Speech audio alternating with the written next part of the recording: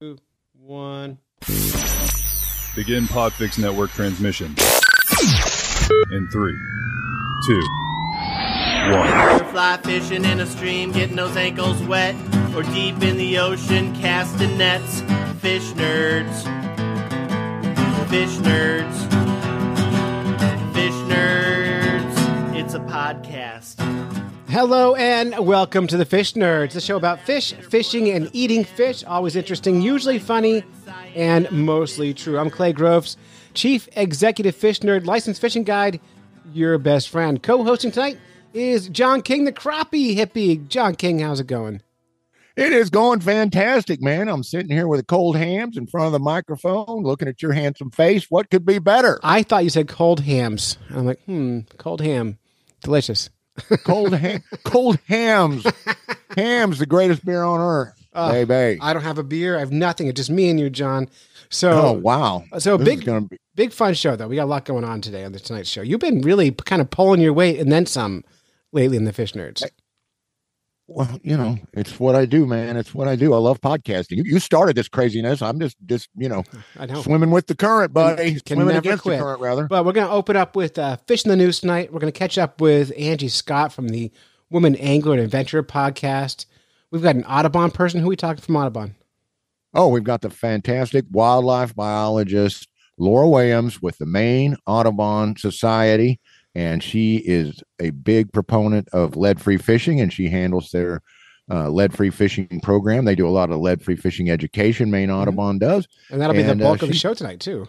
Yeah, I, I I scheduled her for about ten minutes, but we got having so much fun. It's going to be the bulk of the show, bro. Fun. And uh, and and uh, Kathy's come back on the show with doing Laura's husband, Jamie Moffat's recipe tonight. We got a little recipe We do indeed. and brand new music to go with it. Woohoo! Yeah, the mysterious bait ma- bait bait caster cylinder has made some music for us to go along with that. So a lot going on tonight's show. And and John, it's funny. Someone on one of the Facebook groups, uh, like a podcasting Facebook group, uh, group, said, "What is the biggest problem you have with making a podcast?" And I said, "The biggest problem is there's so much content you can't get to it all. It gets too much content. The fish nerds never run out of stuff to talk about." Never, never, never, never, never. Never. I mean, I interviewed Doc Martin. That's not making this week's show. We talked about bow hunting fish and the and the science behind it. Not Oh, my goodness. I not can't on wait this for week's that one. show. I've got an interview coming up this Wednesday about panthers. We're going to learn about Florida panthers on the Fish Nerds podcast, but not this week. Sounds good. This I week, we're getting into it. all right. totally into it, Let's, man. let's get into it. Why don't we jump right in, John, with some. You know what? I don't want to talk about news. I want to talk about a fishing thing I just did the other day. okay. my first boat ride of the year. I got the boat in the water. I'm going to tell you about some boating mistakes and some driving mistakes. And Do it, man. Because this is like real life guide stuff. So I got on a 24 foot pontoon boat, and we're now open for the season. My first trip was this past Friday, and it was just a boat ride. I have one client who hires me nine times a year, but doesn't fish, just wants to drive around the boat real slow, which I'm happy to do. And and so I on Thursday I go to start the boat, put a fresh battery in, wash the boat down, I'm ready to go, turn the key and just click, nothing. The no, the motor makes no sound whatsoever. All the electronics turn on, it's beeping, it's buzzing, but no motor turning. So I go through the whole thing, look for corrosion. I find this one part. It's some kind of widget. I have no idea. There's like five wires. They're all rusted out. I take it out. I call the mechanic up at a local dealership, and I say it's about 40 minutes away. And I say, "Hey, can you help me troubleshoot my motor? I can't make it start." And they go, "We don't help people on the phone." I said, "I'm going to come in then, and you're going to help me in real life." And they go, "We don't, we don't, we don't give advice." And I said, "I'm coming in." So I, I went in. And I got behind the counter with the lady behind the counter. I'm like, "Is this broken?" And she goes, "I don't give advice. We just you can bring your boat in. We'll fix it for you. We'll have it done in two weeks." And I said, "That's not good enough. There's something stupid on my boat that's making it not work." And one of the technicians leaned around the corner and he goes, "Is that Clay?" I went, "Yeah." And he starts laughing and he hands me a 20 amp fuse. And he goes, "Under the uh, cowl on your motor, that's the cover of your outboard. There's a fuse box. Put that in there and take out the old one, and it will work." And boom, sure enough, fired right up. Dollar, Oh, man, dollar, and- dollar and love it. ten cents. Dollar and ten cents. So, so stupid. But you can't. How do you know these things? You You can't don't know. know. You can't know everything. But he did, and he knew because of how new the boat was that it, that's all that it could be. He didn't even hesitate. And they told me the other stuff I took out never touch again because I'll break my boat. And then we had a fine day on the water, and I'm taking the boat out of the water. Like we have this really steep boat la- launch on Lake Ossipee in New Hampshire here. And a bunch of yahoos had parked illegally, making that right hand turn out of the boat ramp, pulling a 24 foot boat behind my big truck really challenging. To make that sharper turn, I had to cut left a little bit and kind of arc over. And because my truck is so tall, I didn't see a post in the ground that was below eye level out, out of my field of view. I scraped a big dent into the front fender of my car and tore a hole in my door and uh, rendered, the, rendered my driver's side door not operable. oh my god! I know. Yeah, that's it. So, And uh, yeah. Anyway, we're open, we're open Well- for this season now. right. maybe not quite as shiny and new, but we are definitely ready to operate. Well, All you know. John, it's, it's every every fishing season, whether it's winter season or summer season. I start off thinking, all right, I'm going to start making money this week, and then the first couple of trips, I lose a thousand dollars right off the top. Just boom, the money's gone. Now I've got to do four trips to get to zero again, and it, it's just terrible. So, my next trip is this week. My first fishing trip. We're doing uh, rainbow trout and salmon fishing on Silver Lake. You've been on that lake before, and we're going to catch some rainbows Gorgeous. and salmon. Yeah. So, woof. Sounds fantastic. Well, listen, I I I can commiserate, not quite to that extent, but fish nerd librarian Jeff Donaldson and I, we are big time buddies when it comes to fishing. And here is something that just is our cosmic uh, cost of our friendship. One of us has to lose something or break something every time we go fishing. So I lost my action camera. It wasn't an expensive one, but they don't make them anymore. It's called a YI Lite, and they don't make them and sell them in the U.S. anymore. oh no. Uh, I lost all the batteries, the SD cards, everything. I somehow took it out of my backpack, and instead of putting it right back in like a smart person would, I set it down, and then Jeff caught a fish or maybe a butterfly went by. I'm easily distractible, okay, and that's Mhm. why I've got to be really careful. Anyway, walked off and left it at the stream, and then the next time we went fishing, Jeff broke a fly rod, and the first time we went fishing, I lost a pair of sunglasses. So Mhm. see, it's just there's just certain things. I- your first trip out's just got to be colorful, Clay. It's just got to be right. Yeah, but now, but now, hey, the shakedown's done, so now we're okay. You lost the money. exactly. The the fishing gods have been satiated with your sacrifices, and now it's going to be a good season. Well, let's certainly hope so. All right, let's jump into the news, John. You ready for this? Let's do it. Wrong button. Not wrong button. What what button is it? There it is.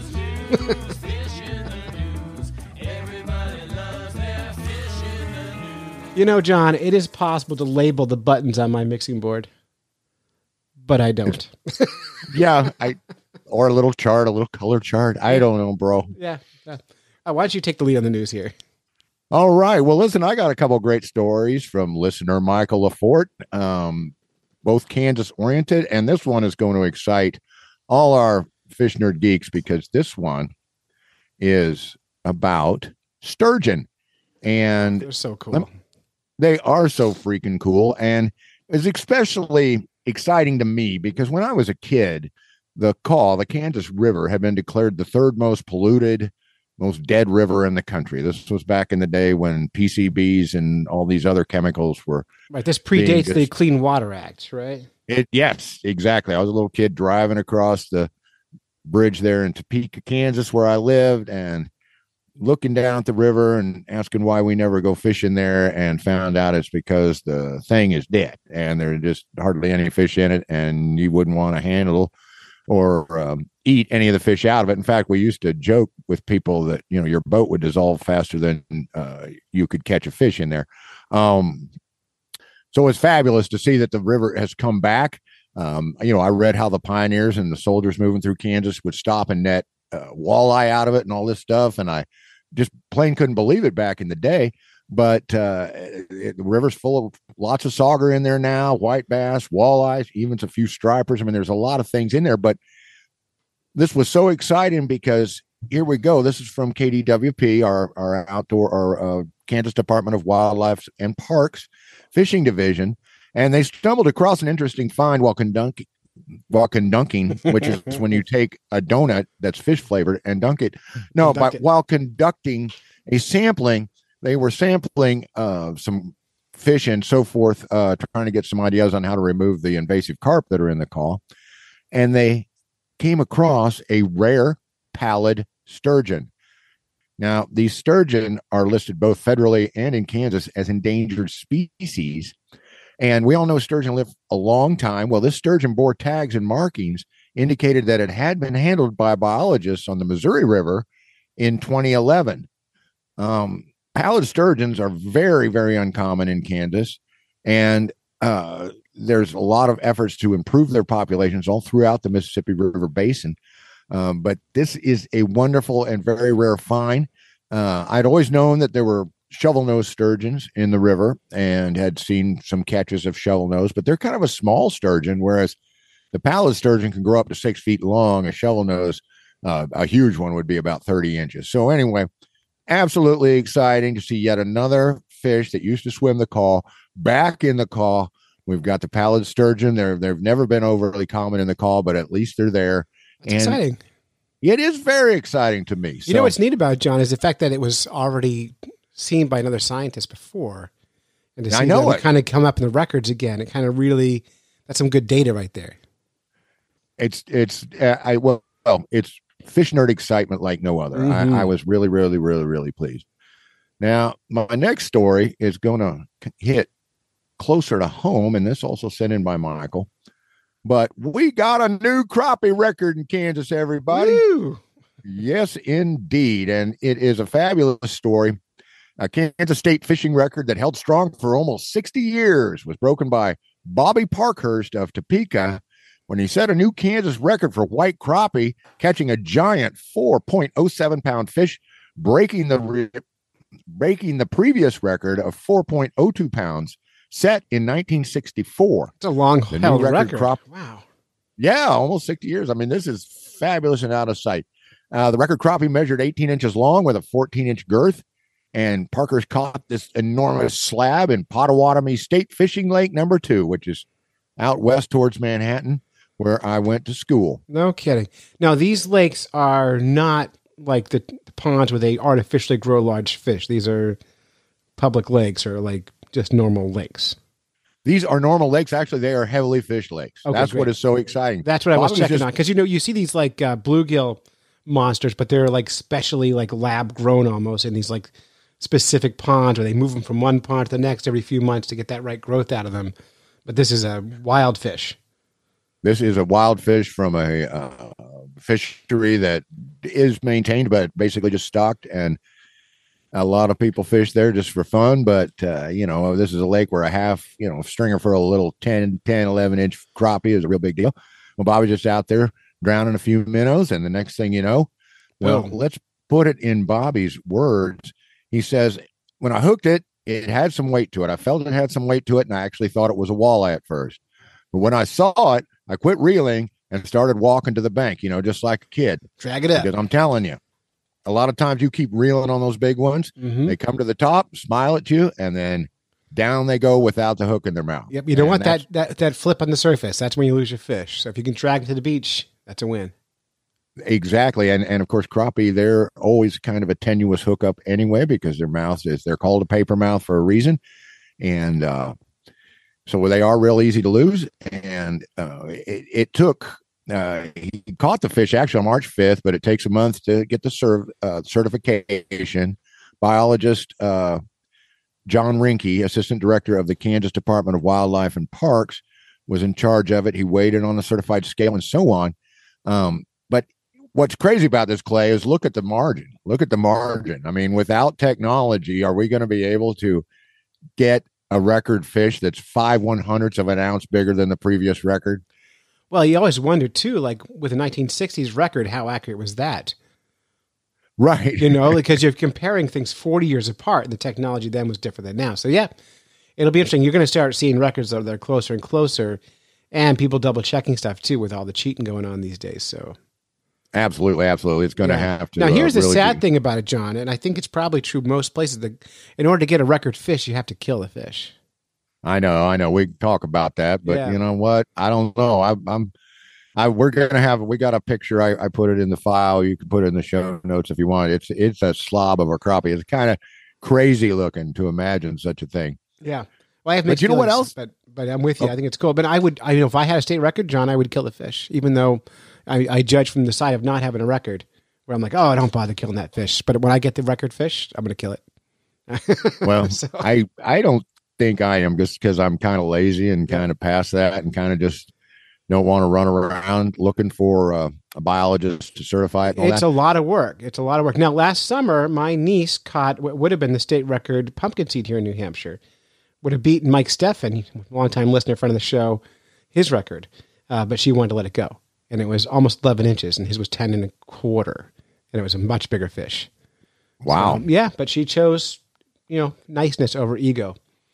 I would have gone the other way. I would have gone the other way just to rub it in his face that a six year old beat his record. well, good for her. Bless her heart. What a sweetie. I, I tell you, I just, uh, yeah, the, the, the whole thing. See, back in the day when I was young and competitive and, you know, wanted my big story every day at school and so forth, we used to go for the old um, field and stream badges that you could get. And Oh, you had to have it that done stuff. Yeah.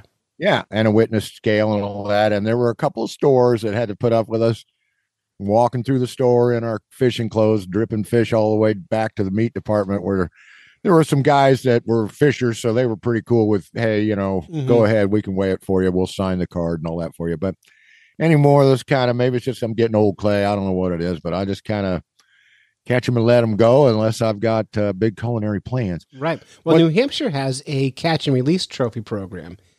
And so you catch a fish in a certain cli- si- length, all you need is a photo of the fish being handled gently with the water body and the angler in the same photo. Send it in, they send you a patch, and you get in the record books for your, by length only. The only problem with that is, even though there's, I think, 15 fish on the list, there's only one patch. So you would end up getting the same repeating patch over and over again. If they had a patch for each species, you'd have people chasing the collection. Yeah, true. Got to get them all. Yeah, exactly. It's fun to collect. So right It is always fun to collect. I'll tell you though, like my collection of those field and stream pins and my, my uh, Manitoba trophy pin for a smallmouth and all this stuff.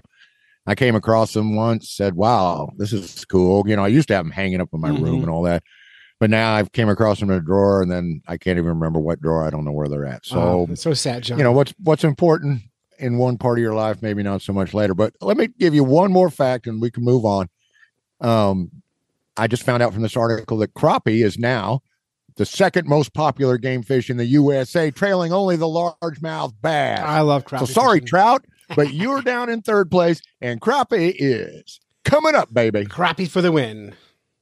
crappie for the win Crappie for the win. All right. All right, John. I got a story here about death. oh my goodness I know this is from CNN. It was sent in by Tim Bete. tim tacklebox beat Tim Tacklebox Bete. I thought he wasn't with us anymore. I'm so glad he's still still thinking of us. Missed that, Tim. All right, let's talk about this. Uh, this is about pufferfish. So even our our friend Greg, the uh, knitting dad, would be excited about this story. but an elderly couple just died after eating poisonous pufferfish in Malaysia, prompting an appeal from their daughter for stronger laws to prevent others from suffering the same fate.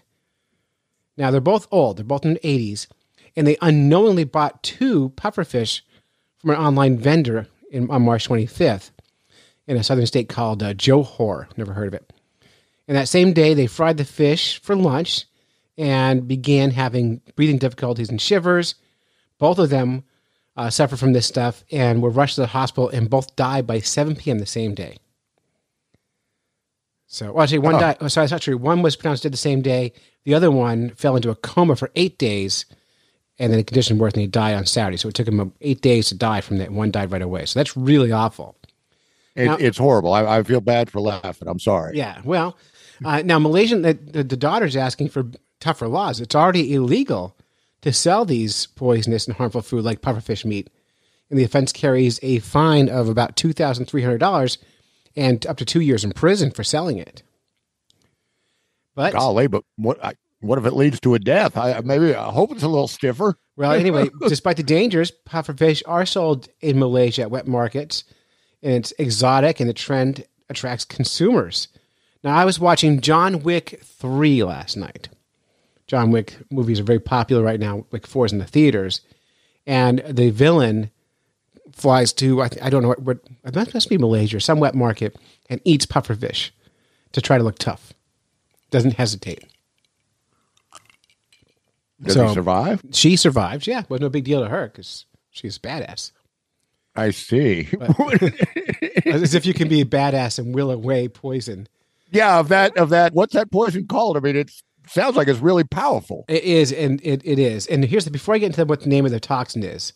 Um, this food is called fugu in Japanese. That's a term for pufferfish. Okay, And it's highly priced, despite the poison. The fish's organs, skin, blood, and bones all con- contain high, high concentrations of the poison. It's called tetrodotoxin. Tetrodotoxin. And ingesting it can, me- can really mess you up. Now, interestingly, when I've eaten poisonous fish, we only poison fish I've ever eaten is a margined mad tom. And it wasn't poisonous, it was venomous. And that's the difference. If you eat- eat, a venomous animal, when you cook it, the proteins cook out the venom. So you don't have to worry about it. But poisonous is a whole other game. And you want to don't eat poisonous things. The, and you know what the thing about John? Most exotic foods, when I when you really look at why people eat them, it's it's it's a very like I, I, I mean, it's going to sound sexist. It's a very like masculine thing. It's usually a Absolutely. dude, usually a dude, and it's usually to make his man parts work better. It- yeah, almost always. Look at shark fins. Look at tusks. Look at any those kind of rare things that people are grinding up into a dust to add to their foods. It's all about making their man parts work better. Well, I'll tell you, I remember when the sushi thing came on strong and the fugu thing came on strong. I think the actual term in Japanese is basically translates as fugumi. So you're Yep. sitting there with your businessman friends, and yeah, you want to show that you're a tough macho guy that's willing to take dares. Mm-hmm. You go fugumi, and the chef runs off and makes some of that for you. They even did a Simpsons on it, which is one of my favorites, actually. yeah. Uh, no, thank you. I'm I am out on this stuff, but it, it is still Me popular. too. It's going to stay popular for a long time because people are funny about stuff like that, and I don't care like what culture you're from. Every culture has their stupid, and this is I think this is one of their stupids. so Yeah, every culture has their stupid. We put it on TV in this country. mhm. Hey, look, I'm going to pour lighter fluid on my shirt and set it on fire. have you know, seen yeah. Japanese game shows? I've only seen parodies of Japanese game shows. Well, shows. they're every bit as crazy as you would imagine. So yeah, but there it is. Fugu. Don't do it. That's my advice. That's So- right. Some things just aren't edible, and eating things just to be to show off or for the thrill of it. I don't want a thrill with eating. I want comfort and joy. I hear you, brother. Yeah. I hear you loud and clear. All right, that wraps up our news, John. I'm going to push the button. No.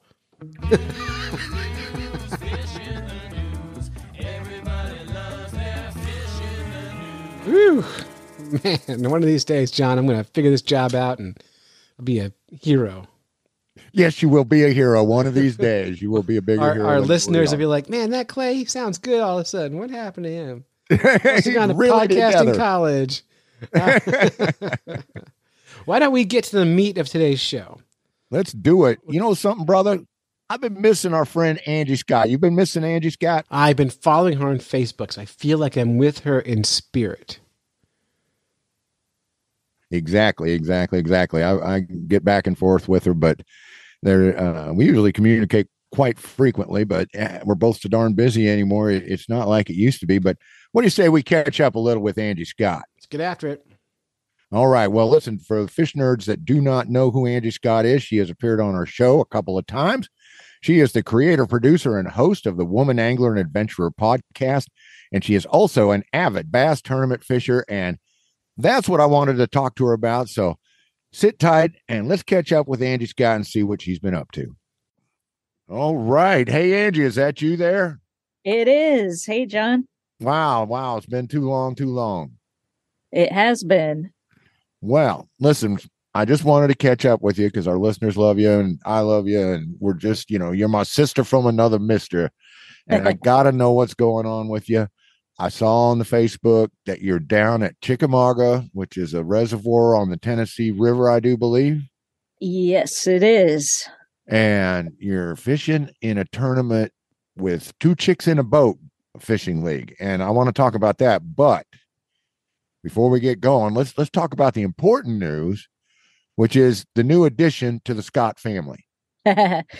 That's right. We've got a rambunctious little five, soon to be six month old puppy. And uh, she's been traveling with us. We actually picked her up at six weeks old, got in the car and, uh, and well, the truck, I should say, in the camper and drove all the way down to Florida the day we got her. So she, all she's known is life on the road. Well, then she's a true Scott because she, you know, Yes, that's, that's the life right now, isn't it?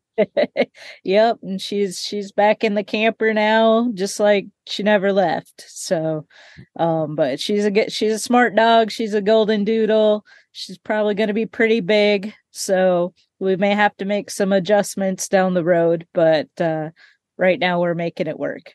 She's a golden doodle. Wow, that's that's really cool. Now, what's her name again? We named her Lakeland, beautiful lake. So we thought that was pretty fitting. Lakeland. Lakeland. It is beautiful lake. What a sweetheart. I see she's already been out on the boat. She's been doing this, she's Yep. been doing that.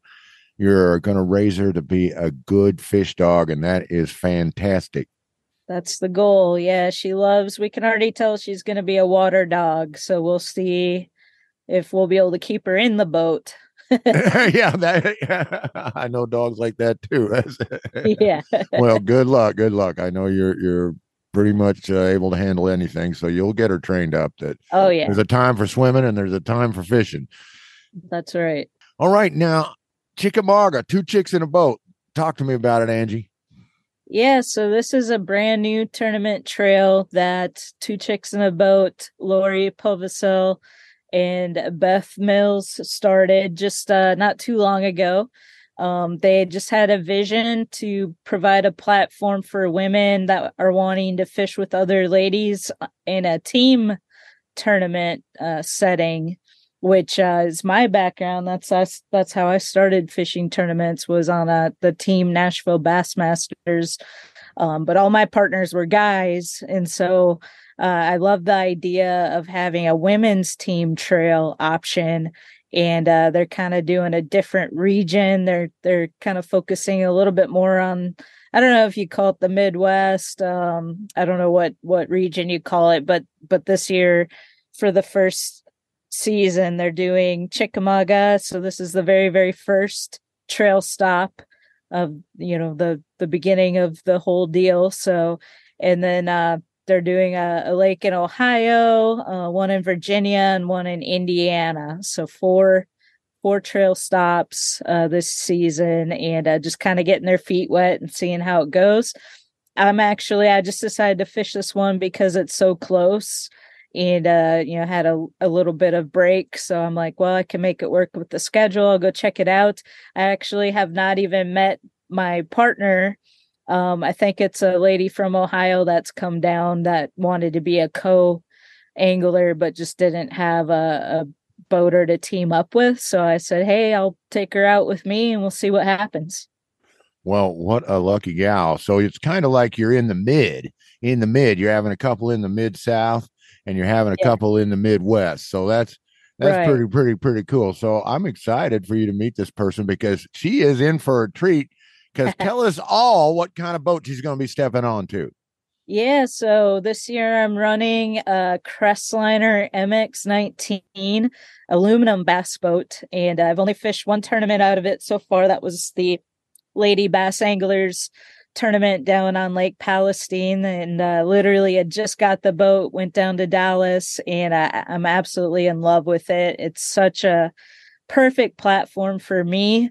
Um, it's uh, got a huge deck, tons of storage um and you know aluminum being so lightweight i can get it in. I had it in inches of water down on lake palestine and had no worries whatsoever. So that's kind of my style of fishing is get it as shallow as i can. And uh, it's probably going to be the same thing out here on chick right now being getting into spring so yeah we'll see i was hoping to get out and practice fish with it some tomorrow but they're calling for uh wind advisories pretty much all day, some pretty strong wind gusts. So I might just have to fish this one blind. I haven't been on Chick since 2019 and I was a co angler, so I really don't remember much about it. I think we were in Harrison Bay, which isn't too far from here, but other than that, I, re- I really have no clue. So it's a, it might be an interesting day on Sunday. Tell me the boat again because I think the internet cut out just a little bit. Oh, okay. I want listeners to be able to hear the exact model of boat that you got because I'm so turned on about the thing just looking at pictures of it. I think it needs to be in a in a Marvel superhero movie. Um, yeah, well, it's a it's a Crestliner MX19 aluminum bass boat. MX19. See, that's just awesome. You know, it, it just it, it is. Angie and her MX19 just out there. I love the finish. I love the look. I love the decks. I just love the whole setup. And Yeah. you did that demo on how much storage it has. That just blew my mind. That is It's incredible. nice. Yeah, and I've uh, you know just the two tournaments I've had it down at you know, like Palestine. We got tons of compliments from people. They were just like, "Oh my gosh, I love the look of this boat. Um, it looked it's perfect. What more could you possibly need?" And even today, as we were setting up camp, a gentleman pulled over and he was like, "Can I take a picture of your boat? That's the most beautiful boat I've ever seen." so it's definitely a looker, but um, it's also super functional and yeah I'm, I'm still trying to wrap my head around all the storage Well, looks and function. You you can't get better than that. I know that in quite a few people, and I know that in a boat when I see it. And you are set up the way you ought to be, and I am really really tickled. All right, well, two chicks in a boat, and hopefully we get back and we'll hear how all that went. That Chickamauga, that's that's big old big old big old reservoir. Yeah it is yeah so i'm planning on just kind of dialing it down focusing either right here where i'm staying at chester frost um that it's uh kind of a well-known area to hold a lot of big bass um, which also means it gets a lot of pressure so that can kind of be a detriment um, or where we're taking out of um, in Soddy Daisy, probably right there where we're you know close by the ramp where we're launching is um, plenty of spotted bass to be caught. So we'll see. We will see. That's always that's the excitement, isn't it? The unknown. We will see. All right. Well, another thing that made me want to get in touch with you is I'm I'm looking and you got to go to some sort of big deal bass tournament. You know, I'm not into that sort of stuff. I that Chickamauga, I'd be hunting them crappie, and you're like, what's wrong with you? And that's okay. but uh tell us what is it, Bass Classic, Bass Master Classic, Classic Bass people. But anyway, you were down there for St. Croix Rods, who you Yep. pro for, and you were running a booth for them. But I I saw you had quite the interview list. You got to run around, and the look on your face was like a kid in a candy store. I mean, you just smiling from ear to ear, meeting all these pros that you you follow. And uh fill us in on that one. Yeah, so the Bassmaster Classic this year was taking place in Knoxville, Tennessee. I had to miss it the last couple years because it conflicted with our Lady Bass Anglers tournaments in March. And so I was really excited knowing it was going to be in Knoxville, so close to be able to get back there. Um, I got to go, my last one was in Birmingham in 2020, but my first ever Bassmaster Classic was in 2019 when it was in Knoxville. So it was kind of cool to come full circle and be back in Knoxville. And I, you know, being my third classic, I kind of knew how everything worked. And I was there mainly representing the Woman Angler and Adventure podcast as media, but I also got to uh, partner up with St. Croix Rods and do some work with them at their space at the expo. But uh, as media, you get to kind of plan some anglers that you want to meet with on media day and so i picked some of my favorites out to uh, chat with so that's why i was so excited just to chat with some of my favorite pros. Um, unfortunately i had uh, jeff gustafson as my first interview of the day very first interview for jeff and for some reason when i got there somebody else was already talking to him. And uh, you only get 10 minute slots with each angler so i didn't want to risk messing up the rest of my schedule. And then of course gussie went on to win the bassmaster classic. So it's kind of Oh. unfortunate that i got had to miss that opportunity to chat with him. But uh, i was excited to talk with uh, carl jocumsen who we kind of bond over the fact that we both travel in a lance truck camper um, John Cox, who runs the Crestliner MX21. So it was great to chat with him. And he's actually getting a MX19 this summer to run around in down in Florida. And he's su- he's super excited about that. Uh, talk about a kid in a candy store talking to him about these uh, Crestliner boats. And then uh, and then of course my my buddy Gerald Swindle uh, it was so much fun chatting with him as well. And we talked a lot about music, which that's always seems to be a top of, of conversation with us. So great time down there in Knoxville. Sounds like fantastic. I know G Man is one of your favorites. That's right, right? G Man. I'm Yep. I'm- yeah. Yep. All right. All righty. Anyhow, I know he's one of your favorite folks that's out there fishing and doing it. And I've heard your interviews with him. So it's really great you guys got to hook up again and do some chatting and do some have some fun. Well, Angie, it's just been really, really good talking to you. I don't know if you've got anything else you want to talk about, anything going on. Sure. Oh, oh, one thing I was going to ask is what does it take to make the cut with Angie Scott? You're you're picking out people to interview. You know, I can see like you and Gerald have that music connection, but I want this from a lady's POV. What kind of things makes a pro someone you want to talk to? Um, well, for me, just having some kind of connection or something in common. I mean, in my experience, all of all of the pros are really all around great people. Um, so that would probably be a, a number one thing. You know, if somebody's out there and is just a jerk, I'm probably not going to have much interest in in chasing them down and having a conversation. But everybody I've observed so far, um, you know, seems like class acts. I mean, if you make it to that level, I already know just from the small level that I fish on how much it takes just to compete in a tournament, you know, with all the work that goes into it and the travel and the money. Um, but I always look for just something, you know, even if it's just a small thing that we can kind of connect over. And, um, yeah, that just makes having a conversation with them a little more personal and, and, uh, special. Well, it just sounds all right to me. I'm glad you're getting to meet some people that inspire you and some people that are inspired by you and, uh, you know, filling us in because eh, we're all aware of the tournament thing.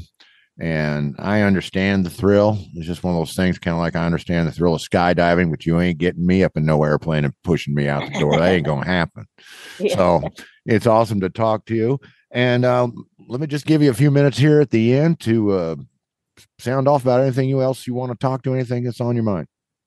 yeah so just looking forward to the rest of 2023 we have some exciting stuff coming up a lot of travel and uh one a couple highlights i want to mention. Um one is uh, in july i don't have everything set yet but i'm hoping that icast does the icast cup again this year and uh, if so i plan to bring the crestliner down and compete in that on lake toho so that would be uh quite a unique and fun experience if we get a chance to do that.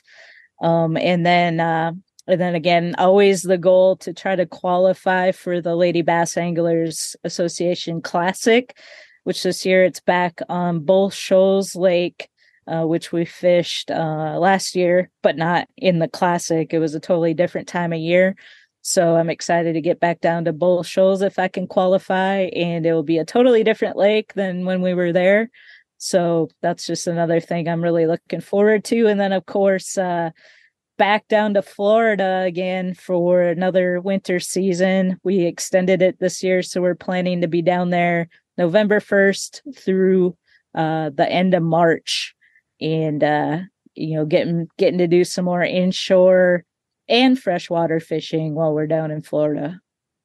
Well, that all sounds so fantastic, but I'm a, I'm feeling a little pain here. I'm feeling a little hurt here. Um, what about Truman? What about oh yeah, the fact course. that Crappie Hippie is going to come down to Truman Lake? so that you? I thought you probably- might be looking forward to that. That, I'm look, I'm looking forward to that part of it, but I still have a kind of a bad place in my uh, memory from my first experience on Oh, Truman when the weather was about as bad as it could possibly get. Yeah, so yeah, yeah. I remember the hopefully it redeems itself this this time around. And um, man, to meet you in person finally, that will be uh, pretty awesome. It will be awesome, and I know you're awful busy during those tournaments. So even if we can only manage a fish bump, uh, I mean a, a fish bump. That's how you say you fist fist bump in Fish fishing talk. Uh, even if we only manage that, that is going to be all right. I can't wait. Uh, but anyway, fantastic, fantastic. Yeah, I remember last time you were at, at Truman and you were talking about having to go to Walmart and get yourself some clothes and some Yep. stuff. and and Uh-huh. uh, hand warmers. yeah, and then uh, watching uh, the waves come up and being wondering if the the boat you were in the, the one day was going to make it back to shore and all that. Yeah, quite the adventure. Let's hope it'll be a little more kind to you. In fact, let's hope it even overdoes its generosity and sets you up with a bass. Let me say in the eight pound range somewhere Hey, in there. I'll take it. Think so? Any all day. right, all right. Well, fantastic, Angie. It's always great to talk to you. I know our listeners are excited to hear from you and catch up with you. But uh, I'm going to let you go. I know you got you and Dana. You got your evening to have, and you've gotten all set up and cozy in the Lance camper. And I'm going to leave you to it. So thanks one more time, and we will talk to you soon. Thanks for having me back on. All right. All right. Well, thank you, Angie Scott. That was cool. You know, and John, I, I have to talk to Angie because she figured out how to get this camper all wrapped up with her podcast logo on it and paid for by other people.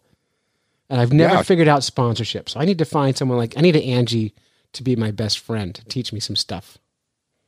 Well, I'll tell you what, I she is going to be fishing a tournament down at Truman Reservoir, which is about two hours from my place.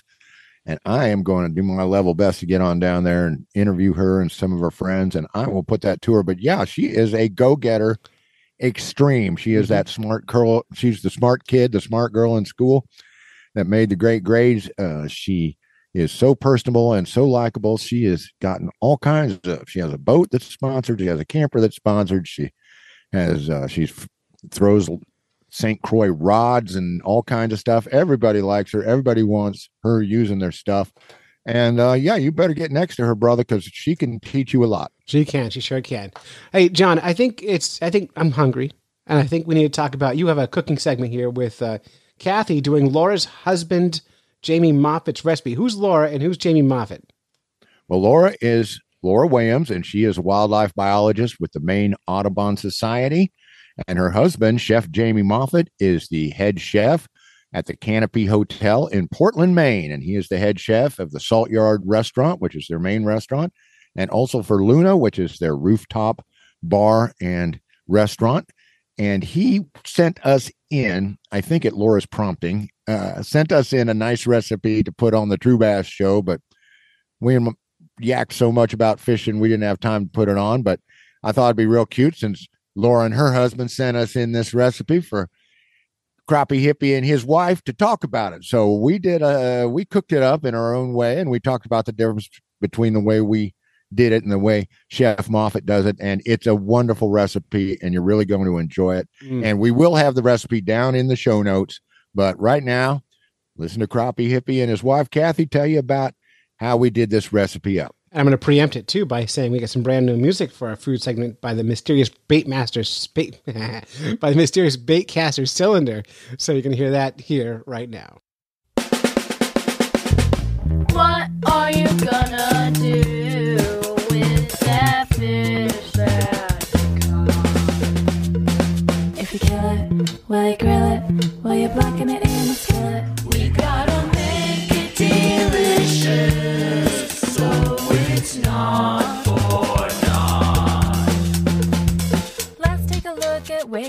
in the Fish Nerds Culinary Corner. All right, Kathy, we had a lot of fun over the weekend and we made a very special recipe in our own way.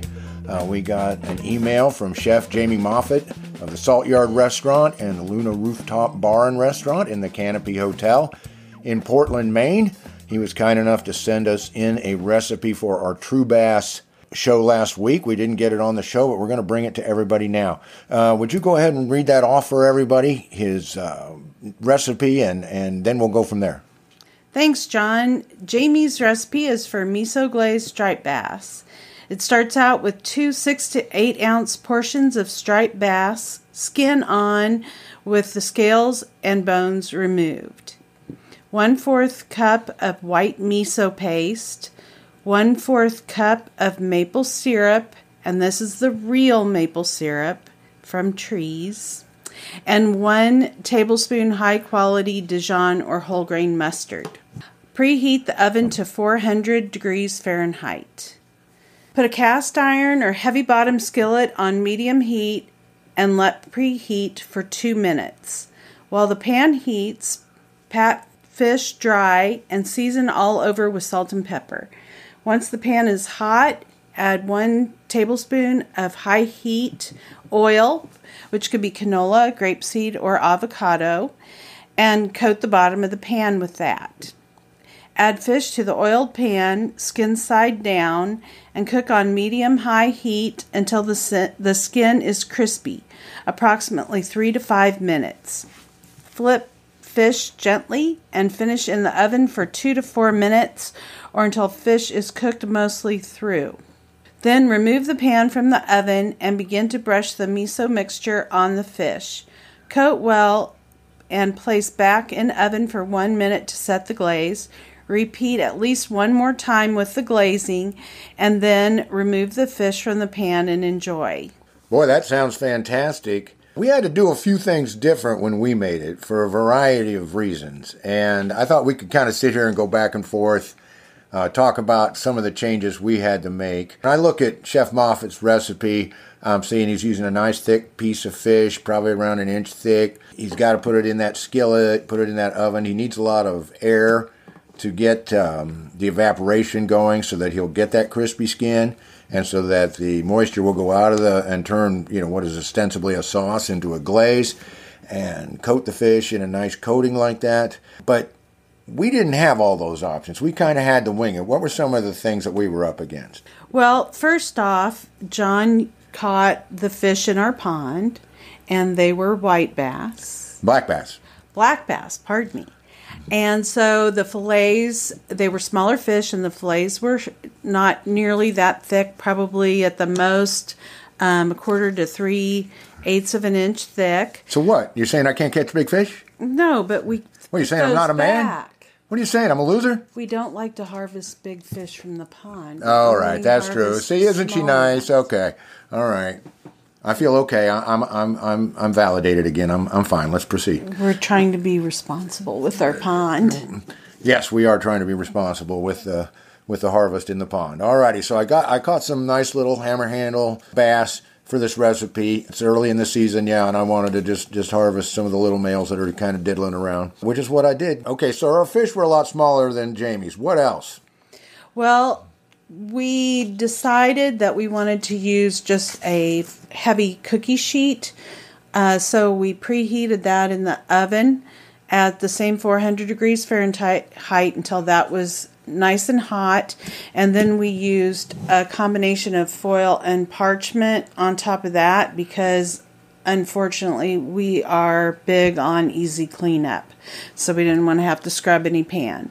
So we put the oil directly on top of the parchment and then put the fish skin side down and followed the recipe basically the same after that.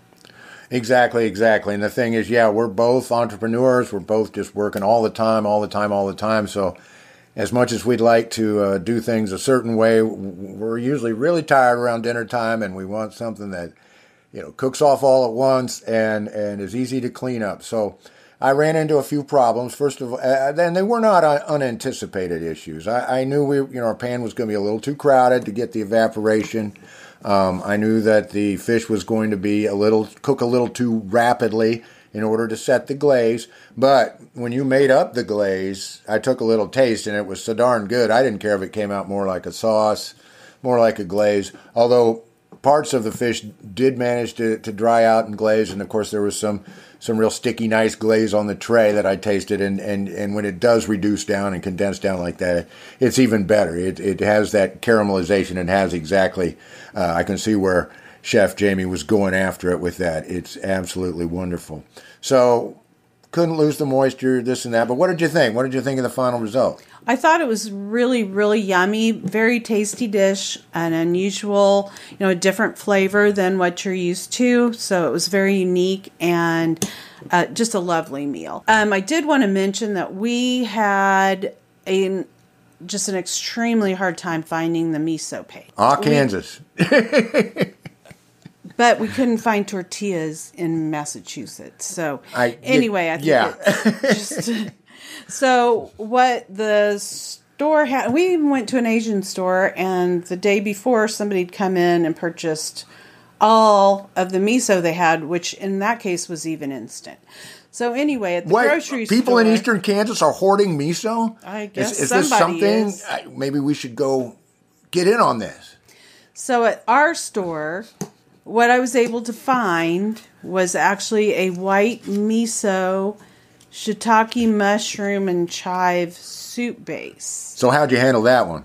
So we took a sifter, metal sifter, and got all of the mushroom and chive out, and that left us with the miso powder. And then I added hot water, and it was a little thinner than I think the paste would have been. So when I was done mixing up the three ingredients for the glaze, I went ahead and cooked it down a little bit in a saucepan. That came out spectacular. It was just absolutely wonderful. There wasn't a problem with using the powder. Uh, we did make sure and, and take the other ingredients out so that it would be more to a true miso flavor, but I can't wait to try it with the actual paste. Oh, and something just occurred to me.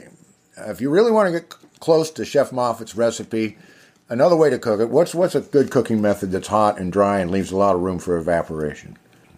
Grilling. Yes, grilling. You listening to me, Donald Colette? You hearing me out there, brother? I know that a lot of the fish nerds love to grill, and a grill is a great way to do a glazed fish dish because you can get the crispiness. You're, you've got all that room. It's it, you know to dissipate the heat. Uh, you've got you can really adjust the heat by moving the fish around and so forth. So don't forget about if you don't have a skillet or you don't want to cook Chef Jamie's recipe in a pan. Take it outside, throw it on the grill. It's got to be fantastic. Okay, so ours came out really, really well. There's some things I'm going to do a little differently next time, but I'm definitely trying this again. We have a crazy thing we want to try doing with it. What do we want to do? Well, since I cooked the glaze down, uh, we could cook it down a little further to make more of like a dipping sauce. And we thought that would be delicious with Say it, say it. fish sticks. But we only get the solid fish, fish, fish sticks, not the minced fish, fish sticks. So we're kind of picky about our fish sticks. Well, fish sticks without the air quotes. Yes, I mean it. I might even brush some glaze on them. I mean, this is really that good, folks. It really is. And of course, use that real maple syrup. It's absolutely uh, essential. Okay, what does Chef Moffat put on the side of his? Well, he uses uh, either fingerling potatoes or Well, he recommends fingerling potatoes and what else? baby? Yukon Gold. Oh, the baby Yukons. Ah, yes. But what we did is we always get uh, Yukon Gold potatoes, and then we just cut them down. And we like we've started cutting them down into smaller cubes, and it cooks faster and makes them crispier. And then he also recommended either asparagus or broccolini, and we had Brussels sprouts, so that's what we used. Yeah, we used the Brussels sprouts. So we cubed up some regular Yukon Gold potatoes, roasted them, and then about, uh, you know, just as they're just barely starting to get tender, uh, these broccoli, I mean, not broccoli, these Brussels sprouts were big, so I had to quarter them. You know, you know the story. If they're little tiny ones, leave them whole. If they're so, you know a little bit bigger, go ahead and cut them in half. But these were like mini cabbage heads, so I had I had to quarter these up. Anyway, the whole thing was absolutely delicious. It's a perfect side for this, but really, when it comes to fish, asparagus, roast potatoes, roast vegetables, whatever you have, it's it's a great accompaniment to so many things, including fish, and it was an absolute delight. And you tossed the potatoes in olive oil, Yes, roasted those for about yes, just 10 till the, to 15 yeah, minutes. just till they start then going. added the Brussels sprouts. Right, and then also add a little oil. And cooked that off and then put the salt and pepper on after they were out of the oven. That's how I like to do it. Yeah, I like to S and P. Make sure they're still you know blazing hot coming out of that oven. Then you put the salt and pepper on. You can stick it back in if you need to, but Um, that's that's our way of doing it. And once again, it's easy. It's easy cleanup. It's Because we use the foil and because we use the foil in the parchment. So sometimes you feel a little guilty, but you can't concede your whole life plan to the to your micro environment. We we compost, we we go without zip bags, we do all kinds of stuff. But when it comes to being exhausted and just get something good to eat, uh, we got to do that easy cleanup method. I've described this before on the show. So But we always reuse the foil and Yes, the indeed. parchment. Parchment if we can. Yes, indeed. Always. All right. So, one last thank you to Chef Jamie Moffat from the Salt Yard Restaurant and the Luna Restaurant Roof Tarp. Roof Tarp. Carp. No. Roof Carp. Roof. Roof. Roof Carp. Luna. Luna is the moon. And you go up to the roof, and there's a restaurant bar up there in the Canopy Hotel in Portland, Maine.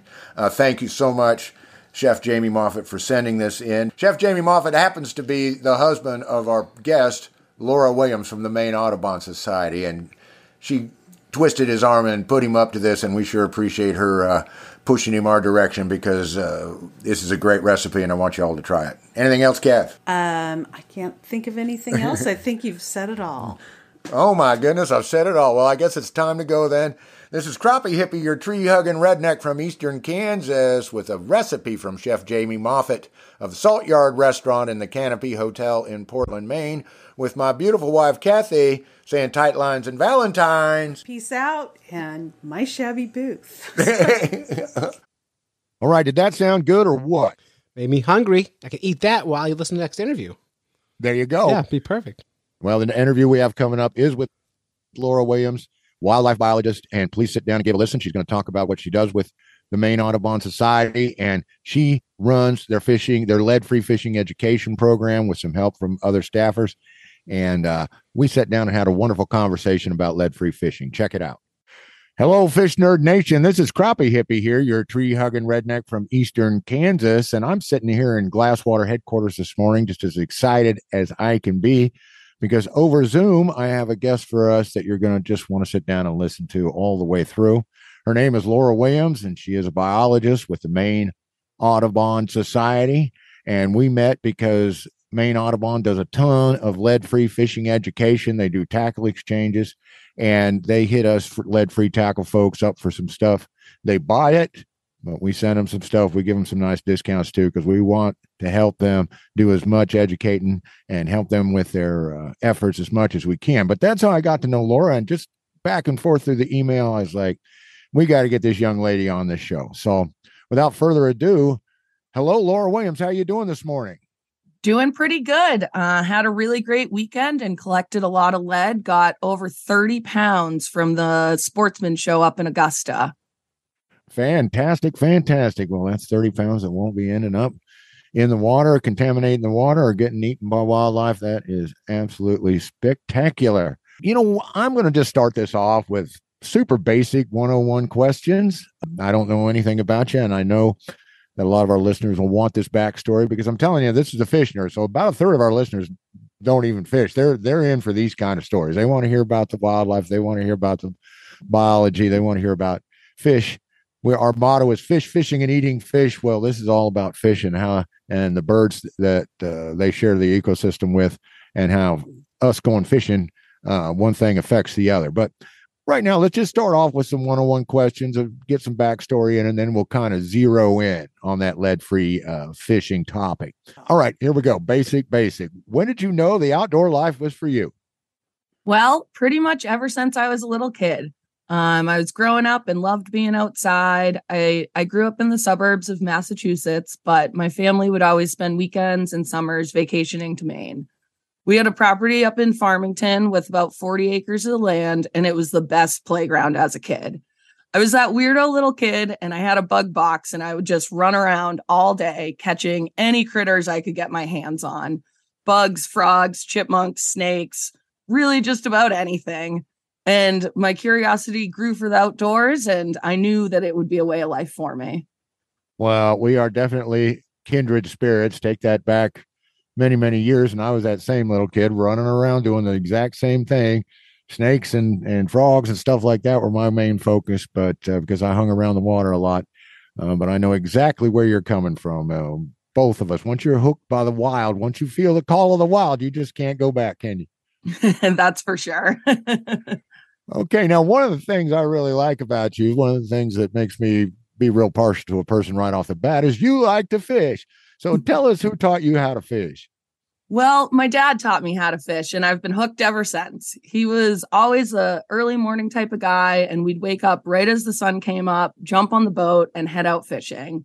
Uh, one one great story when I was when I was a little kid, I was still sporting one of those push button rods, and I somehow, who knows how, but I pushed the button in, went to cast, and chucked my rod in the water, leaving the lure in the boat. And sure enough, that thing sunk to the bottom. And my dad had spent the day before relining everyone's reels. And so he had to pull all of the line up onto the boat bottom. And luckily, we got my pole back. But we me and my dad we've had some good times fishing including some epic fishing stories from alaska but i could i could talk all day about fish stories I hear that. I hear that. I always warn people, you know, if you start talking about fishing, you better be ready to back away when, uh, and even when I see your eyes glazed, glazed over, I'm going to just keep on going. Well, your daddy sounds just wonderful, like a patient, patient man that knew about teaching young people to fish. You don't, you don't, you just deal with it. You just deal with it. If you're out there to, to fish, you should have gone by yourself because you're out there to help somebody learn well, then that's got to be your focus. It sounds like a wonderful experience. And uh, yeah, one of these days we're going to get together. We're going to tell some more of those stories. But oh, absolutely. and- all right, so let's move on. Laura grows up, and what made you decide to become a wildlife biologist? Well, I've always known that I've wanted to work outside. So when it came time to apply for college, I was scheming on how to make that happen. Um, I found Unity College in Maine, which was an entire college with majors dedicated to the environment and working outdoors. I've also always loved animals. So, what better way to combine the two favorite things that I have to become a wildlife biologist? And I've I've had some of the coolest jobs ever. I've I've worked in Alaska, flying around in helicopters and bush planes, bushwhacking through some of the nastiest terrain you can think of, and counting shorebirds up there, mist netting and tagging and tracking bats. And then when I moved back to Maine, I got to work on a really cool project in the North Maine woods, capturing, collaring, and tracking deer. All right, now look, I'm going to try not to divert too much, but I've got to know, and I'm sure the listeners are going, "What the heck? What is mist netting?" Mist netting is where you put up this thin, fine net um, in the woods. You find a, a spot where you think the bats are flying through and you trap at night and you put up this net. And basically, the bats fly through the flyway, they get caught in the net. You stand up on a ladder or you pull the net down slowly. And then, with wearing gloves, you uh, untangle the bats and then you hold them gently. And we would attach radio transmitters to them and then be able to track them for about a month or so. Wow, that's really cool. That must be some sort of fine net that they can't uh, feel it on their sonar or can't uh, figure out that it's there. Yeah, yeah, it's very, very thin, and um, it doesn't harm them in any any way either. Fantastic, fantastic. All right, so back on track, back on track. I want to know what's Laura Williams up to these days. What co- sort of projects they got you working over there at uh, Maine Audubon? Well, after all my adventures, I came back and I'm a biologist at Maine Audubon. And the best part is I get to work on many of our different conservation projects and know a little bit about everything, you know? And so the reason I came back and found Maine Audubon is the Coastal Birds Project. And this will be my fifth season working on that. And we work to protect our endangered beach nesting birds, the piping plovers and least terns on just about 20 beaches throughout southern Maine. And we partner with multiple agencies and towns as well as private landowners. We got lots of volunteers out there helping us protect nesting habitat. And we always say the job isn't just walking on the beach in the sun, but it's it's definitely a perk. And my other my other big project is our fish lead free initiative. The reason we're here chatting today. And through that project, I educate anglers about Maine's lead tackle law, encourage them to use lead free alternatives, and provide them with lead recycling options as well. And some of the other projects at Maine Audubon I get to help out on are the Loon Count, Loon Restoration Project, Stream Smart, and Stream Explorers, to name a few.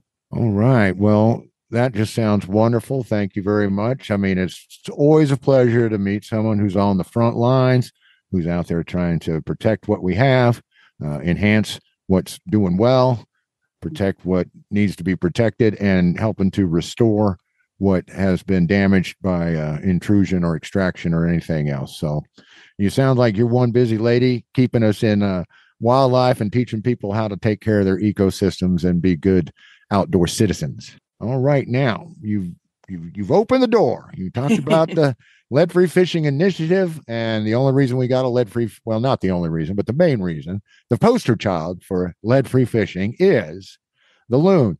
Now, I know that Massachusetts led the way and passed their law in 1998, but take me through. You told me that Maine sort of uh, did a thing where they they scaled up. They scaled it up and they went layer by layer. Talk to me a little bit about that. Yeah. So we started in 2013. That's when the first ban came out, and it was on small size lead sinkers. So anything two and a half inches or less, or less than one ounce. And so that banned the sale and use of lead sinkers. And then come 2016, we we passed a ban on the sale of bare lead jigs. Um, so those are unpainted lead jig heads, and that's two and a half inches or less, or less than one ounce in weight. And then come 2017, we banned the use of those bare jigs. All right, all right, all right. Well, we're going to come back to the to the jig head thing here in a minute, but when people hear what I'm up to with my company and my ideas for changing the way we fish, they talk to me about, uh, oh, is lead really a problem? Um, you know, is this really going on? Well, can you tell the folks about loon recovery in Maine and describe the positive causal relationship between restricting lead use in angling and loon survival? Well, loons loons are doing pretty stellar in Maine. So we have about over 3,000 adult loons that breed on our lakes and ponds throughout the state. And lead poisoning was the leading cause of death before that 2013 ban on those small size lead sinkers. And now, 10 years after starting to restrict those sizes of small lead in our inland waters, lead poisoning has dropped to the third leading cause. Um, I would like to point out, though, that our top cause of death right now is trauma from boat strikes. And this is another human related issue that can be reduced just by raising awareness to boaters, knowing not to chase loons, back away from them and their chicks, uh, go slow within 200 feet of shore so your boat wake doesn't wash over their nests.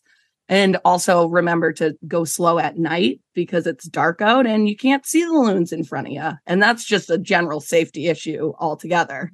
yeah. Well, and it, it's, it, it pays to see that this is all an integrated thing. I mean, the, the lead poisoning, be be glad. It's one of those races where you're glad to, to to drop down in the rankings rather than than go up. I'm glad the lead poisoning is down from number one to number three. Hopefully, we can get it down to, to 10 to inconsequential here before too long. So, you're talking a lot then about behaviors, behaviors from boaters, and then, of course, anglers. A lot of us use boats. But speaking of angling, what sort of fishing is the most detrimental to loons? Is it bass fishing, fly fishing, finesse, ultralight fishing? Talk to me about fishing and, and loons. Well, I mean, fishing and loons don't need to be mutually exclusive. There's many ways for us anglers to still enjoy fishing while allowing the loons to do their thing at the same time. The best way to know to let this happen is know some basic loon behavior and distress signs. So a lot of the time you won't know that there's a nest or a chick nearby your favorite fishing spot, but typically the loons will let you know if you know what to look out for. So, three sure signs that you're too close and need to back away are the penguin dance, warning calls, or if the loon's crouched on their nest. So the penguin dance is something that most people have seen and it's it's exactly what it sounds. So a loon rears up in the water and rapidly paddles the water with their feet and either outstretches their wings or tucks them in close and they're basically standing up and moving towards you. The their loud yodel or tremolo laughing calls are loons telling us that we're too close and need to back away. So Typically, if I'm tucked into a little cove and notice a loon enter as I'm fishing, I'll reel in my line, move to another good spot, and let the loon take over the fishing. There's plenty of lake and fish for both us anglers and the loons. Well, amen to that. Amen to that. And and it's good to to let people know because I'm hoping to come up there in August and check some stuff out with you. And it'll be my first time to Maine And I want to know if I'm upsetting these loons for sure. On the other hand, it's a lot of common sense, right? It's like that, that loon's doing the penguin dance. It's coming toward me and stuff. It's not because it wants to make friends. All right. This ain't no Pixar movie. Okay. Yeah, You know, no, that- it's not that coming over to hang out with you. It's telling Yeah, you, get yeah, out of my spot. yeah. Yeah. He's saying, you know, he, she's saying this is, this is how they scare off other predators. This is how they scare off other danger.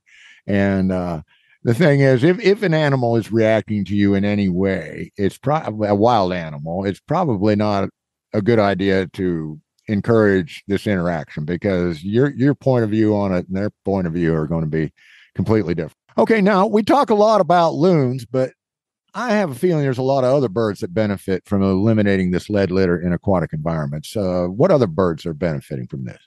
Lots of other birds, other fish eating birds like mergansers and cormorants can also ingest lead tackle if the fish that they eat has a hook in it from a broken fishing line. Um, eagles are another big one that people think of. There's lots of research out there showing that eagles are dying from lead poisoning. Now, that isn't solely due to lead poisoning from fishing tackle, um, but it, it it it it is a part of it. Other ways eagles get exposed to lead is scavenging carcasses that have been shot with lead, but that's that's a whole other big issue that we won't dive into today.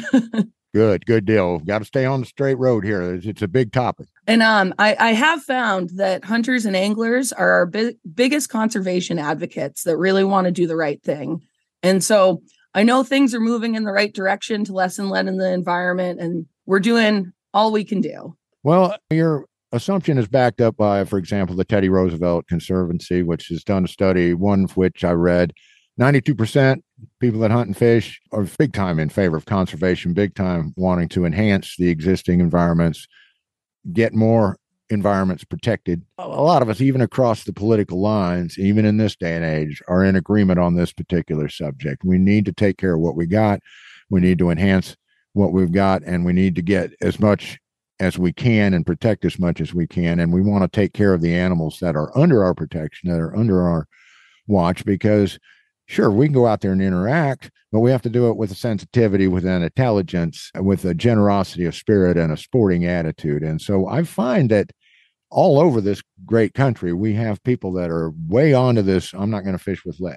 And we're going to talk about that probably in another interview or another time. But it's mm-hmm. encouraging that that you feel the same way and you're you're seeing that go on.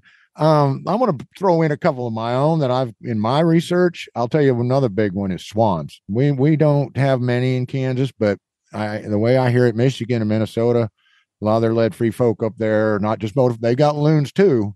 Mhm. They've got these these swan populations that they're out to protect, and and my thing is even ducks and stuff. Anything that's going to be protected by the anti lead shot. uh, yeah, and it's just about with- everything that will be protected by that. You know, it's Yeah. better for the wildlife, it's better for the water, it's better for us, you know. It is better for us. It is better for us. Um, I can't point to any research where lead prevalence is so high from fishing that it's actually contaminating a drinking water lake.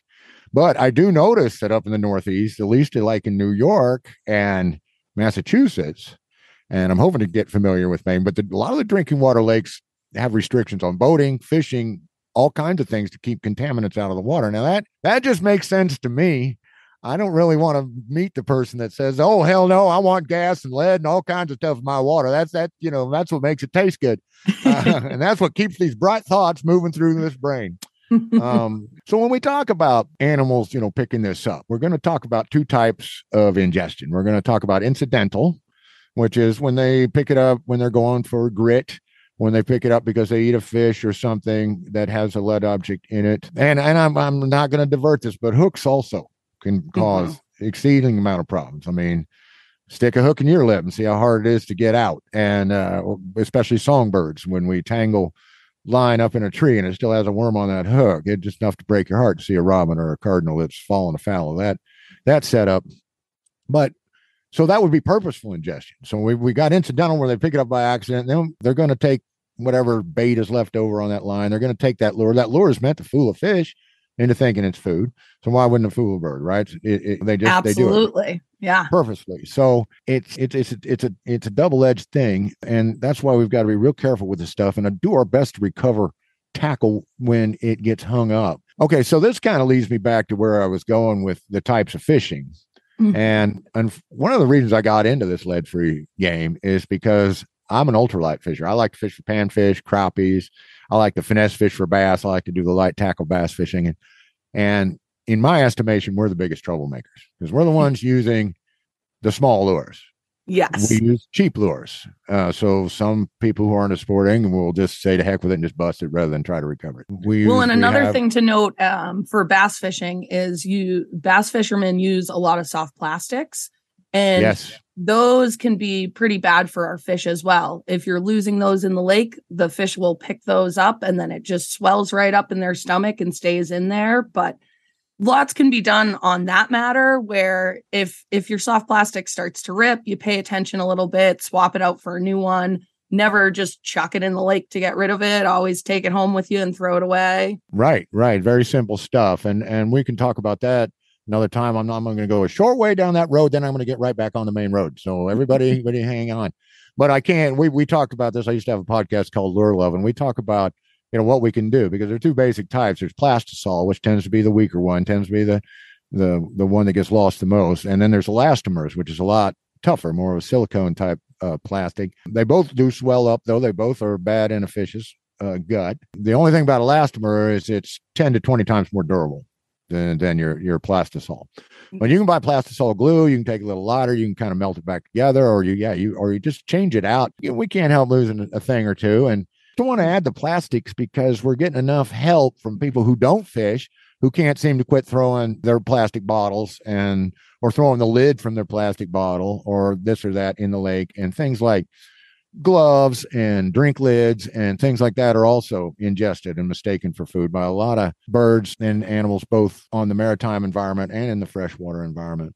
Absolutely. Um, and and as you mentioned there's plenty of ways out there to secure your soft plastics and and still fish with them and not lose them as often you know Absolutely. And and just because there's bigger centers in the world doesn't make it so okay for us to go along, you know, la di da. I just don't care. And and like we say, we're only talking to that five to ten percent that just won't give up on the illusion that they can't possibly hurt the environment with what they're doing. Well, it's not the individual so much as the collective, although there are certain types of individuals that seem to want to be outstanding in their negative behavior. And uh, we won't we won't get off on a rant like that because I can already feel my water starting to boil. And we we don't need that. So you're saying, you know, the small size, the way we size this, and I love how Maine does it with measurement. We're- We're going to go measurement, we're going to go ounce. We're going to and although I guess they just had the loon conservancy in New Hampshire or one of the loon scientists down in New Hampshire, they just picked up one that had like a one and a half or two ounce in it, you know, and that and that animal, of course, died. I know that's why I'm just hoping we can go for a kind of a total thing because you know right now we're doing what we need to do, and we can point to the research that it does work. Yeah, well, and Um, it's those it's those small sizes that we typically see loons mistaking for grit on the bottom and they'll pick up as gravel. But those larger sizes are typically when they're eating a fish that already has a lure in it. So we do, I mean, we do still see those large sizes of lead, but it's the small sizes that are the big, big issue. And Right, right. Because that, like I say, more lures, more people using the lures, lighter line. That's another mm-hmm. problem with it. Beginners, we always start the kids out on the little trouts and the little perch and the little sunnies, and and so they're they're getting snagged up. We've got to be cognizant of it at all times. Like for example, I know a lot of guys are switching to iron or zinc downrigger weights. Now you're probably going to lose a downrigger weight maybe once or twice in a lifetime, but they just feel better about it if they lose one made out of zinc, which is actually something I guess you can eat in vitamins rather than one that's made out of lead. And I think that's that's really cool. Okay, now Laura, I want to get back the one thing that irritates the living heck out of me about when I rank the the lead free laws. Massachusetts is the most straightforward and strict, and then I think probably New Hampshire. New York is kind of the loose, kind of gutted. You're allowed to have it, you're just not allowed to sell it, which is is kind of crazy to me. But the main loophole is I don't know how they got this. Well, it's called compromise, and in political compromise, you start out wanting a pony and you end up something like a Bactrian camel by the time everybody's done. and they so this loophole says in Maine, if you use a painted jig head, you can use a lead jig head. Now, is there any science behind that that says that makes it any safer? So yeah, in truth, there's there's no science behind that that makes it any safer. That paint, I mean, it it easily chips off. I think it's more of a it makes us think it's safer. You know, they kind of trick us into, oh, if there's paint on it, it's okay. But that paint, I mean, it chips off in your tackle box after a few casts as you're bouncing it off the bottom. You start losing paint, and let alone the effects of a loon's gizzard with the rock tumbler tumbler effect and the pH levels in there that paint wears down in minimum a week and they still have lead in their stomach. They're still going to get sick from lead poisoning and die from it. Well, that's what I thought you'd say. And as far as that loon gizzard goes, yeah, you should have seen what happened to Magic School Bus when they tried to go down through there. I mean, that, that isn't going to protect nothing. They can they can chip that that lead all the way up. And you hear y'all, she's talking just like a fisher, right? She knows you go bound. I don't care how fancy dancy your paint job is on your lead head. If you go rock rock hopping, bouncing that on the rocks and so forth, it's going to start to chip off. And yeah, cheaper paint jobs. We a lot of guys are doing the best they can to have most durable paint jobs because that's what what fishers expect. But I've seen base uh, age coatings and so forth they still they'll still give it up and really uh, the, the gizzard on a bird is it's just a big old tough muscle that that can it's there to grind up grain and seeds and and whatnot and bones and such so it's yeah. gonna it's gonna chip that that lead right off there. So hopefully y'all can keep after. I guess you told me that uh, you're going to kind of start down that direction and see if we can't get the legislature to wake up and go ahead and ban those.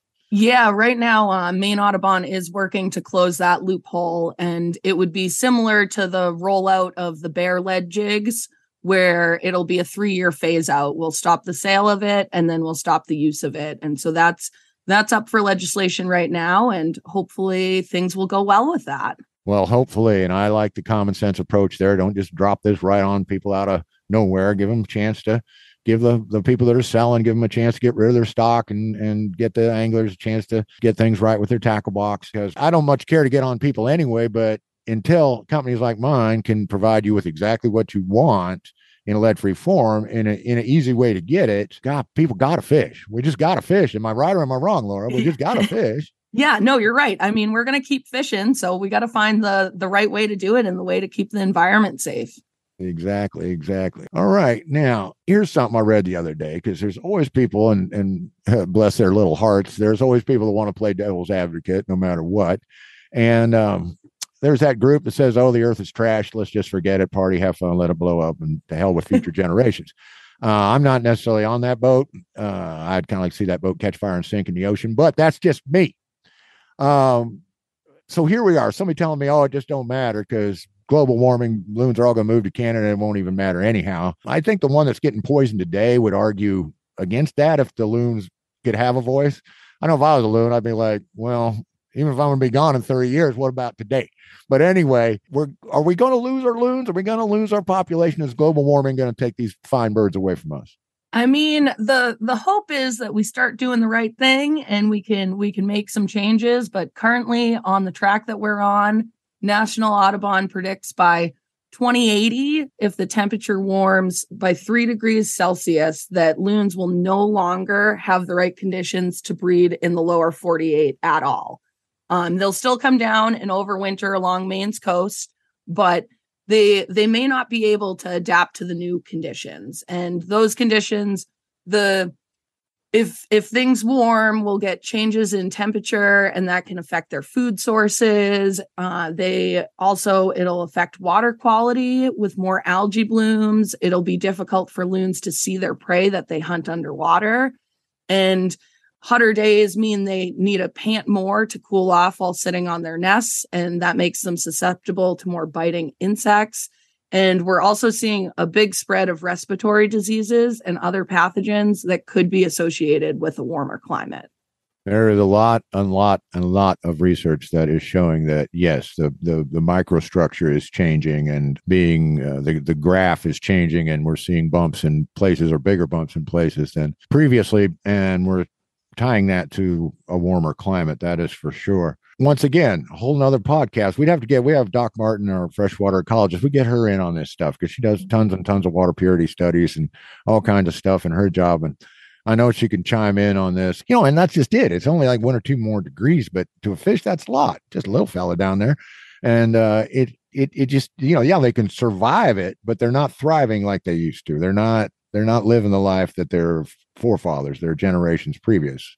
Yeah, the life that they're accustomed to and the the um, habitat that they're supposed to be in. Yeah, and that their body is set up to take. We're all set up to take X number of pathogen attacks, but at a certain rate. And if that rate increases, that increases our chance of getting sick. But we'll get some get some out. Maybe we're going to have to have you back. I can see about a half a dozen things in here. We're just going to have to have you back. That's all there is to it. Yeah, so we Um, can dig in a little deeper. Dig in a little deeper, geek out a little more, because that's what this podcast is all about. We are the fish nerds. All right, I want to know about tackle exchanges because I've been I've given to several of them. I do work for several of them, both paid and and donation. But I've never been to one, and I don't exactly know how it goes on. So I show up. I've got a hundred split shot, uh, three dozen crappie jigs, and five lead spoons I want to turn in. So how does it work? I say, here you go. Here's my lead. What are you going to give me? Well, so the way it works is you can either choose from the tackle options that we have on hand. So stuff from glasswater angling that runs out first. Well, that's awful nice. I, I had a feeling. I'm sorry. yep. So anything from glasswater angling that we have from you, we have some other dealers that we get tackle from. And so if any of that stuff they like that, they can they can grab that in exchange, usually give them a couple lures, some some split shots, some jigs, um, or they can get a $10 voucher to our participating retailers. And we have four of those throughout the state, and we're always looking for more. So if anyone's listening and has a Maine tackle shop, give me a ring and we'll get you set up on the program. But yeah, I mean, I I collect the lead. I've done it at ice fishing derbies. I did the sportsman shows. We'll do it for lake associations if they're having a annual meeting, um, at boat launches that are busy. And the biggest thing is is to get the word out ahead of time because people, if they don't know to bring their lead, they're not going to bring their lead in. So it um it, it's a really great program and it it helps for anglers to test out these lead-free alternatives before they actually have to make the investment. Okay, so I, I absolutely love this because this is my pillars when I do my public speaking. Is if we're going to compete with lead, we got to do it on lead's terms. So we've got to make it effective. We've got to mm-hmm. make it within a price point that they folks can live with, and mostly we got to make it available. And through your wonderful program and, and others like it, this gives a low risk way for people to say, hey, you know, come on, this bismuth alloy jig I just caught, you know, 15 inch crappie. It, it's working even better than that lead stuff, you know, or whatever. But it gives them a chance, a nice risk free chance to, to try it. And then you get to te- tell them, you know, exactly what the law is and so forth. Because what I've been led to understand by my friends up in the Northeast is these rangers don't have like little test strips they're going to set on your lure set on your sinkers or any of the rest of it. We're just, this is just kind of like you're going to obey the law, you're not going to obey the, obey the law. Are you going to go along with what makes sense and what people have agreed on, or are you just going to go on with your own And- self centered approach? And that's Uh, very true. I mean, the the wardens in Maine, they have so much work to do. They're not they're not necessarily going around looking at every little piece of tackle in your tackle box, you know. They're they're out there keeping the the wildlife safe and keeping boaters safe and whatnot. So it's it's definitely on the anglers to to do the right thing and not use those small sizes of lead. Well, it seems like all the anglers, I will say all, but I'm really proud and impressed the number of anglers that uh, are doing it because we've just seen the loons just go up, up, up in every state that does this, even New York, you know. And when when it started working out so well for Massachusetts, the other states started seeing a, a small rise in their loon population. So they said, hey, why not? And so it took on, and now you've got five states up there that are banning lead, restricting lead, and that's awesome, awesome, awesome. Now, talk to me about the future of lead free fishing. I like what you say about education because I do some stuff with the Minnesota Pollution Control Agency, Mm-hmm. and they have a big lead free fishing program as part of their agenda. And it's nice that that they have that. And Minnesota's decided against legislation, they're going to just depend on education. But how do you see it? And how does Audubon see it? What is the future of lead free fishing for you? And what would you like most to see? Well, lead free fishing is becoming more accessible and more popular. I mean, the more people that know about it and understand why the ban is in place and why we're doing it, the more people that get on board. And so, in my take is that education is the best both short and long term solution. Um, the more that people understand those effects that it has on the wildlife, the environment, and even ourselves, the more likely they are to make the switch to lead free tackle. All I can say is you're holding up your end. I have a different take on on the future, but it depends on education. All right, it depends on education. I'm not going to uh, talk about because this interview isn't about me and my deal, and I think of the nerds already know what it is. Uh, but yes, we got to have the education both out front and backing us up. And we've got to have scientists like you saying, yeah, really, it's not, uh, this isn't flat earth society. This is real. All right. this is not something we're doing just to pick on you to make you spend more money on tackle either. We're we're doing it because it makes sense, it's reasonable, and if we all get together on this, I think we're going to find that it's not as painful as a lot of these. I'm not going to say crybabies. Wait, did I just say crybabies? it's not as, as as painful as a lot of these people make out. I mean, if we're looking at a 10% difference in price, you know, it's like, come on, just just eat it. And a lot of times these lead-free companies are actually just saying, hey, we're just going to make a little less money because I know the materials can be more expensive, but if we buy smart, we do this, we do that. It's a little more challenging to be a lead free tackle uh, supplier and designer, but my gosh, it's a lot of fun because every time you come up with a new idea, you know, you just saved a whole bunch of critters and a whole bunch of birds, and and and it really feels good. All righty, yeah. well, I think we've gotten through the question list. I'm going to give you final word. You can take all the time you want. Yeah, yeah. So as a final parting word, um, as loons and other wildlife continue to face a plethora of threats to their survival, such as loss of habitat, pollution and contamination, and changing temperatures and food sources, reducing the threat of lead poisoning from lead tackle is one proactive thing we can do right now to help our loons thrive. So it's it's a simple thing to do. It's an easy switch to make. If you go to a company's website like Glasswater Angling, he's got great lead free tackle and just about everything you can think of. Well, thank you very much for that. And you are absolutely right. And it makes you feel good. It really does. I've been fishing lead free since 2011, and I'm telling you, I don't notice any difference. Well, this is what I like to hear is small proactive things that people can do. And this is certainly one of them. It's so daunting to think, oh, I've got, you know, these problems seem so huge. But if we just, you just chip, chip, chip away, and like that Bob Marley song, Small Axe, you know, you, it's a big tree, mm-hmm. but, but we just keep working on it. And eventually, all of a sudden, out of nowhere, that whole thing changes. And uh, we can get there, we can get there. But there's nothing better for me as a sportsman, as an angler, to think, well, I did have to break that off, but gosh darn it, at least it's lead free and at least it's not going to add contaminants to the water and it's not going to hurt nothing that eats it. All right. Well, Laura, it has been an absolute pleasure to get with you this morning. I've been anxiously awaiting this moment and it has finally arrived. I appreciate you coming on the show. Yeah, yeah, it was great chatting with you and hopefully we can do another show sometime soon. All right, but I know you're going to be off monitoring those birds for a while, so you just tell me when you've got a gap in your schedule and I'll come and get you and we'll we'll talk about some other stuff. All right. Yeah, definitely. Looking forward to catching some fish this summer too.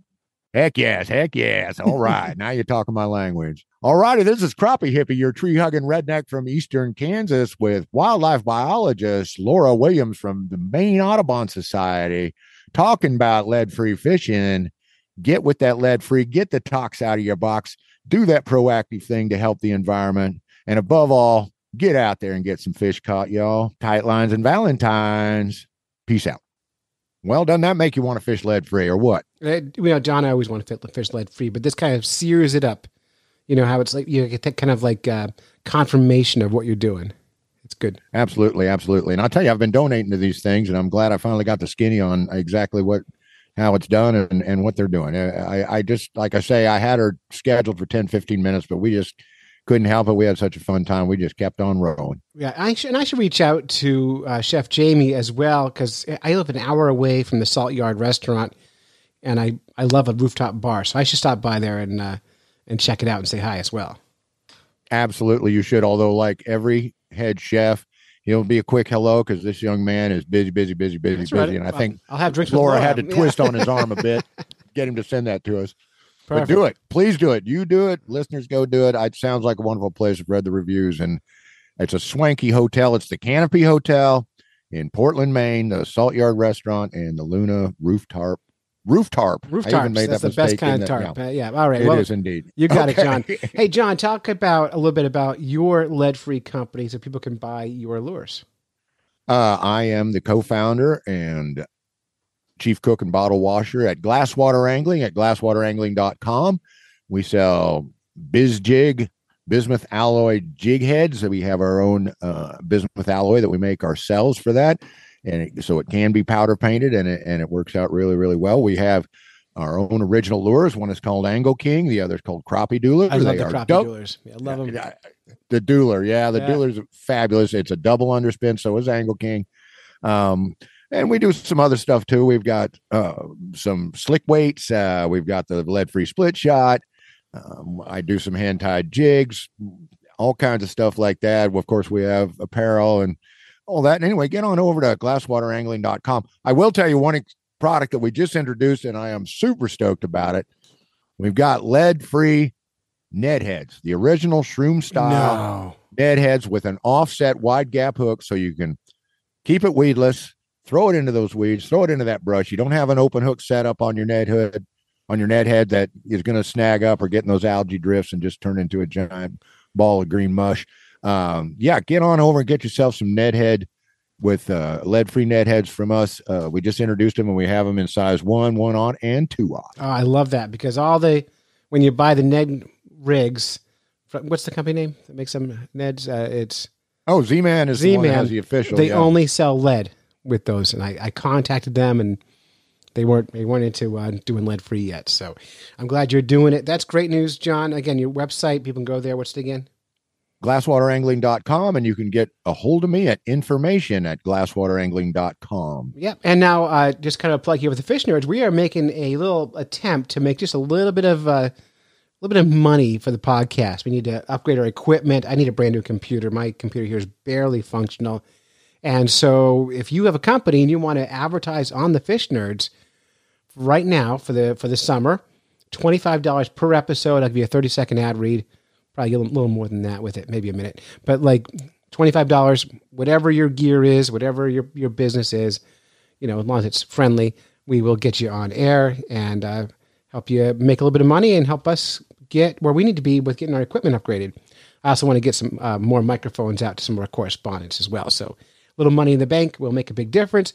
Speaking of which, I do want to thank the Patreon subscribers. John, I've been neglecting them and they deserve bigger thank yous than I've been giving. So I will make it a point next week or so to reach out to our Patreon subscribers and thank them for in person, or in, individually for what they Individually, let's thank them. But I'll tell you what, why don't you get in there tonight after we're done doing this and you grab two or three names on out of there and we'll give each of them a $25 uh, prize from the Glasswater Angling Prize Stash. All right. That sounds great, John. That's pretty, pretty, pretty generous of you. so, and we'll, well, reach they're out generous. They're generous folks, and we can't do this without them. you. And so there, there are some who have been with us for years.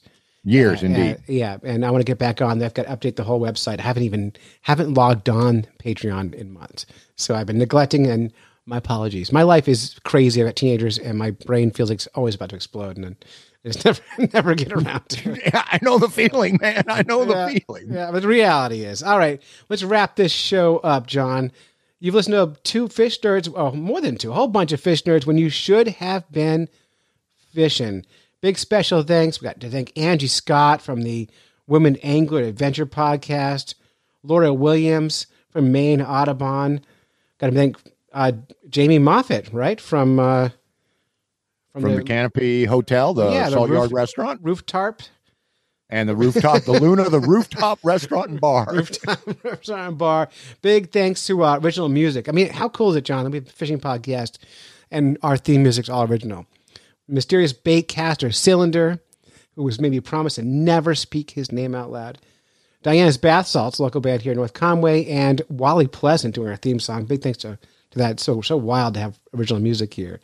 So It's fabulous. It's just great. yes. So until next time, John. Follow. Well, wait a minute. Don't forget about What? Michael Leforte and Tim Tacklebox Bete for sending us in some fabulous news stories. Had to throw those guys in too, brother. Oh, I forget things, John. It's been a long show. Oh, you bring us out of the show. You end it. All righty. Remember the code of the fish nerds. Right. Never, whoops. Spawn early and often, John. Never take a free lunch with strings attached. And swim against the current every chance you get. Done. We're Whether done. you're fly fishing in a stream, getting those ankles wet, or deep in the ocean, casting nets. Fish nerds. Fish nerds. Fish nerds. It's a podcast. Just for the halibut. Fried in a basket or broiled in a pan. Eat it raw like you're in Siam. Fish nerds. Fish nerds. Fish Nerds. It's a podcast. We did it, John. We done done it. All right.